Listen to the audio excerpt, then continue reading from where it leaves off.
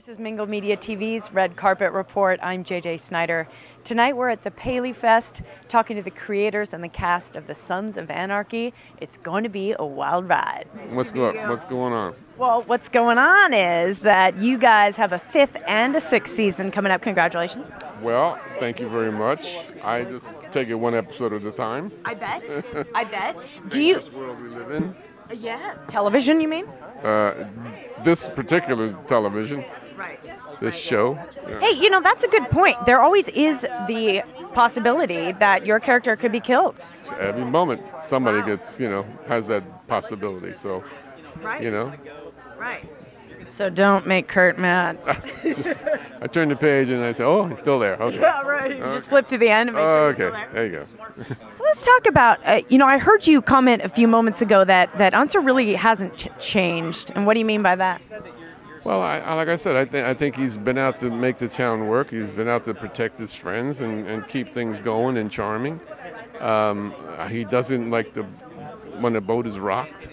So uh, he's always trying to keep the boat steady and, uh, and, in line. And like he tries to keep the the sons in line. You know, like you can't be doing this. You know, and then he tries to keep the politicians out from coming in and changing his whole town.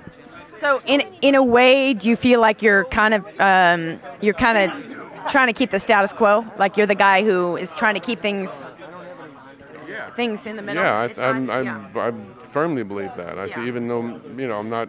Uh, I, I mean, I had to I had to resign last year, uh, year before, because there was certain things that I didn't want to put on the the department. You know, was, uh, I I did cross the line in a sense uh, with Stahl, but you know, justifying it is she was really screwing a lot of people yeah.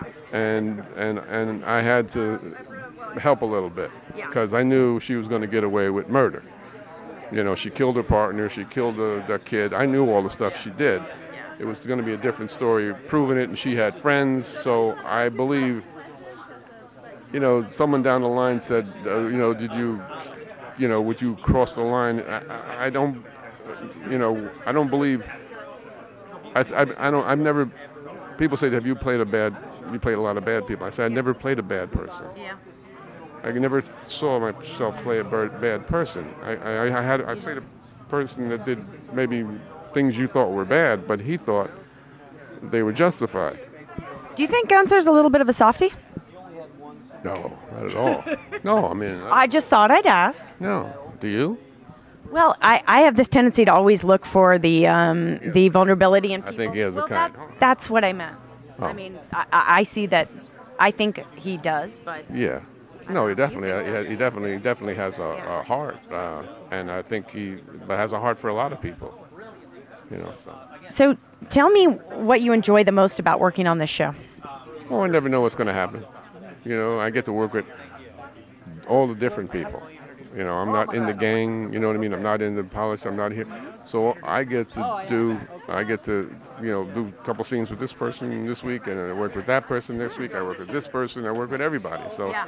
that's kind of like fun for me. You know. Sounds like a blast. Yeah, it is. Thank you so much. Enjoy tonight.